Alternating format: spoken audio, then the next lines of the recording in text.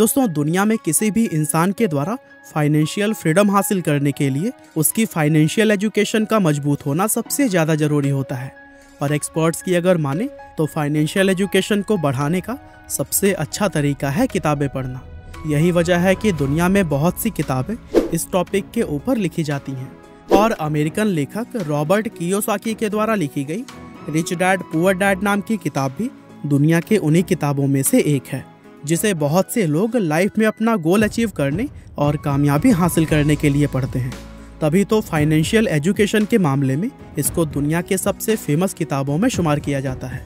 और आज की हमारी इस वीडियो में हम आपको इसी बुक की ही समरी बताने वाले हैं। दोस्तों रिच डैड पुअर डैड किताब की कहानी लेखक रॉबर्ट कियोसाकी की अपनी खुद की लाइफ स्टोरी पर आधारित है। इस किताब में वो अपने दो पिताओं के बारे में लिखते हैं।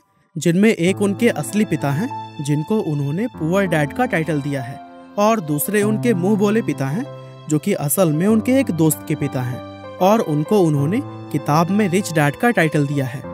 दरअसल उनके असली पिता बहुत ही ज़्यादा पढ़े लिखे और हार्ड वर्किंग इंसान हैं, जो कि पेशे से एक टीचर होने के साथ ही फाइनेंशियली काफ़ी कमज़ोर हैं। इसीलिए रॉबर्ट किताब में उन्हें पुअर डैड कहकर बुलाते हैं। वहीं दूसरी तरफ़ उनके मुँह बोले पिता सिर्फ़ आठवीं क्लास तक पढ़े हैं, लेकिन फाइनेंशियल एजुकेशन स्ट्रांग होने की वजह से वो अपने शहर के सबसे बड़े और सबसे अमीर बिजनेसमैन में शुमार किए जाते हैं। इसीलिए रॉबर्ट किताब में उन्हें रिच डैड कहकर बुलाते हैं। इस पूरी कहानी में रॉबर्ट के रिच डैड उन्हें उनकी ज़िंदगी के अलग अलग पड़ावों पर 30 साल तक छह ऐसी अहम शिक्षाएँ देते हैं, जो कि लाइफ में कामयाबी हासिल करने, अमीर बनने और हमेशा अमीर बने रहने के लिए बहुत ही ज़रूरी होती हैं। और रॉबर्ट के रिच डैड के द्वारा बताए गए छह लेसन्स दुनिया के किसी भी इंसान को अमीर और कामयाब बना सकते हैं। फिर चाहे वो इंसान कितना ही कम पढ़ा लिखा क्यों ना हो। तो चलिए अब हम आपको रॉबर्ट द्वारा किताब में लिखे गए उन्हीं छह इंपॉर्टेंट लेसन्स के बारे में बताते हैं। वैसे इस टॉपिक का आइडिया मुझे कुकू एफएम मोबाइल ऐप पर ऑडियो बुक सुनते हुए आया था और यहाँ आप भी हज़ारों बुक्स का एक्सेस सिर्फ़ एक बुक के प्राइस में पा सकते हैं। हालाँकि आगे हम इसके बारे में और जानेंगे, लेकिन चलिए पहले हम लेसन्स की शुरुआत कर लेते हैं। Lesson number one rich don't work for money money work for them दोस्तों, रॉबर्ट के रिच डैड बताते हैं कि दुनिया के ज़्यादातर लोग कई दशकों से एक विशेष तरह के सर्कल में फंसे हुए हैं, और वे इस सर्कल को रैट रेस कहकर बुलाते हैं। दरअसल, आज दुनिया के ज़्यादातर लोगों की ज़िंदगी का मकसद सिर्फ़ अच्छे कॉलेज में पढ़ाई करना, अच्छी नौकरी ढूंढना, शादी करना और फिर ज़िंदगी भर अपनी सैलरी से घर व कार जैसी चीज़ों के लोन भरते रहना ही बन गया है। लोगों को इस बात का एहसास ही नहीं होता कि इस तरह के लाइफ में वे मेहनत तो सबसे ज़्यादा करते हैं, लेकिन उनकी मेहनत का फ़ायदा किसी और को ही होता है। असल में बहुत से लोग इस रैट रेस का हिस्सा बनकर नाखुश भी होते हैं, लेकिन फिर भी अपने मन के डर, लालच और जिम्मेदारियों की वजह से वे मजबूरी में इसका हिस्सा बने रहते हैं। रिच डैड कहते हैं कि इंसान को सबसे पहले तो अपने डर को खत्म करके इस रैट रेस से बाहर निकलना चाहिए और फिर कुछ ऐसा करना चाहिए जिसमें आप पैसे के लिए काम ना करें, बल्कि पैसा आपके लिए काम करे। वो पुरानी कहावत है ना कि पैसा ही पैसे को खींचता है। ठीक उसी तरह आपको भी अपनी लाइफ में कुछ ऐसा करने की ज़रूरत होती है जिसमें कि आपका पैसा ही आपको कमा कर दे। Lesson number two, keeping money is more important than making it.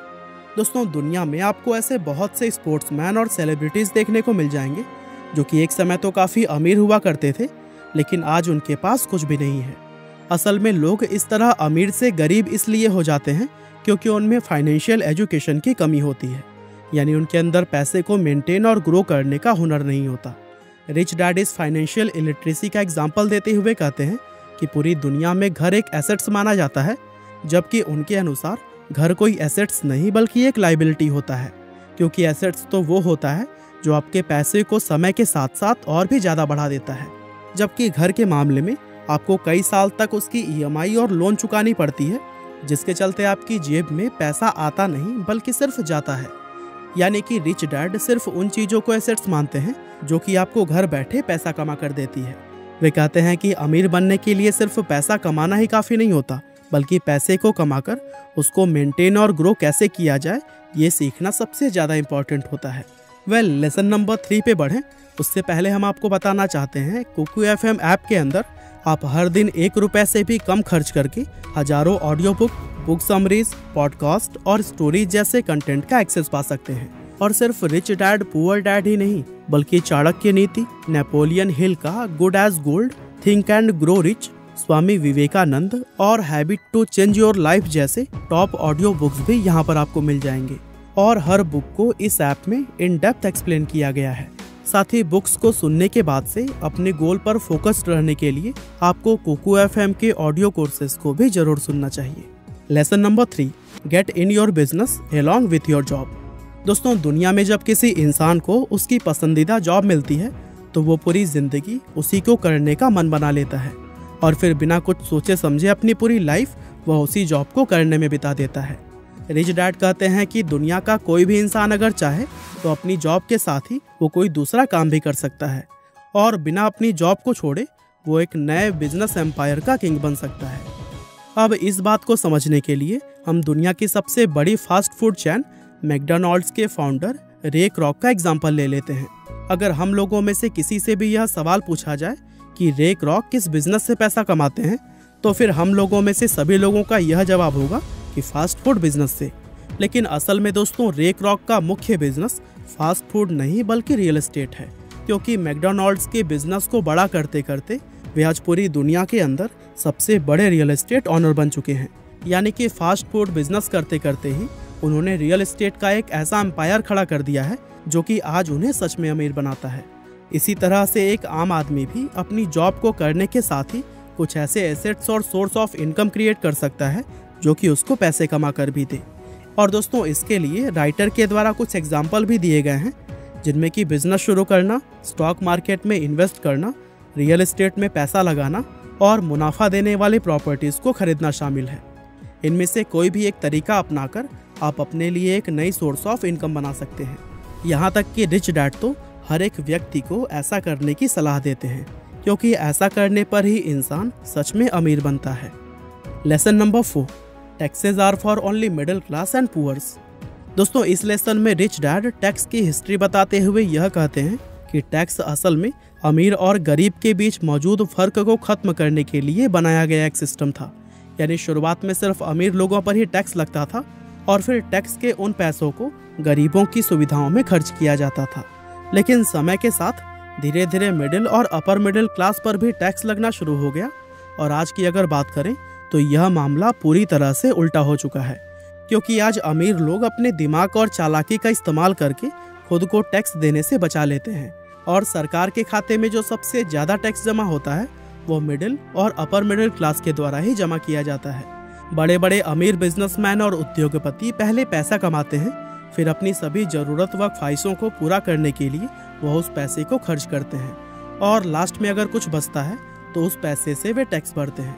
जबकि वहीं मिडिल और अपर मिडिल क्लास के लोग पैसा कमाने के साथ ही टैक्स भी भरते हैं।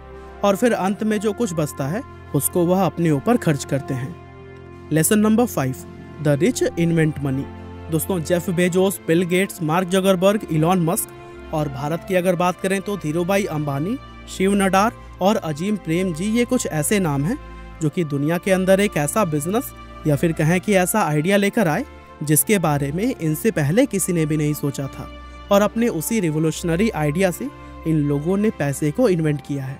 इससे पहले कि मार्केट में मौजूद किसी भी अवसर को कोई और व्यक्ति ढूंढ पाता, इन लोगों ने उस अवसर को खोजा और उस पर तुरंत ही एक्शन लिया। इसीलिए कहा जाता है कि इन लोगों ने पैसा कमाया नहीं, बल्कि उसको इन्वेंट किया। क्योंकि ये दुनिया में उन चीज़ों को लेकर आए जो कि यहाँ पहले से मौजूद नहीं थी। इसी तरह आपको भी सिर्फ़ पैसा कमाने के बारे में नहीं, बल्कि पैसे को इन्वेंट करने के बारे में भी सोचना चाहिए। Lesson number six rich learns all the time and know how to sell their ideas दोस्तों, अमेरिका में न जाने कितने ऐसे लोग मौजूद हैं जो कि मैकडोनल्ड्स के ही प्राइस में उससे कहीं ज़्यादा बेहतर बर्गर बनाकर बेचते हैं। लेकिन अपने किसी प्रोडक्ट या आइडिया को बड़े स्तर पर किस तरह से बेचा जाता है, इसकी समझ हर एक इंसान को नहीं होती। तभी तो वो मैकडोनल्ड से अच्छा बर्गर बनाने के बावजूद भी उसको सिर्फ़ एक लिमिटेड एरिया या फिर लिमिटेड क्वांटिटीज में ही बेच पाते हैं, जबकि मैकडोनल्ड्स पूरी दुनिया के अंदर बिना किसी लिमिट के अपने बर्गर बेचता है। असल में इस लास्ट लेसन के ज़रिए राइटर हमें यह समझाते हैं कि अमीर इंसान कभी भी नई चीज़ों और नए स्किल्स को सीखना बंद नहीं करता है, और इसी आदत की वजह से ही उसको हमेशा यह पता होता है कि अपने प्रोडक्ट या अपने आइडिया को दुनिया में बड़े लेवल पर किस तरह से बेचा जाता है। और दोस्तों बिज़ी रहते हुए आप भी बहुत कुछ सीख सकते हैं कोकू एफ़ ऐप के ज़रिए, जो कि डेफिनेटली आपके नॉलेज को कई गुना बढ़ा देगा। बस आपको डिस्क्रिप्शन में दिए गए लिंक से जाकर एल एच ट्वेंटी कूपन का इस्तेमाल करना है और फिर आपको एक साल का सब्सक्रिप्शन तीन सौ निन्यानवे में नहीं, बल्कि सिर्फ़ तीन सौ उन्नीस रुपये में मिल जाएगा। जो कि हर दिन सिर्फ़ सतासी पैसे के आसपास होता है।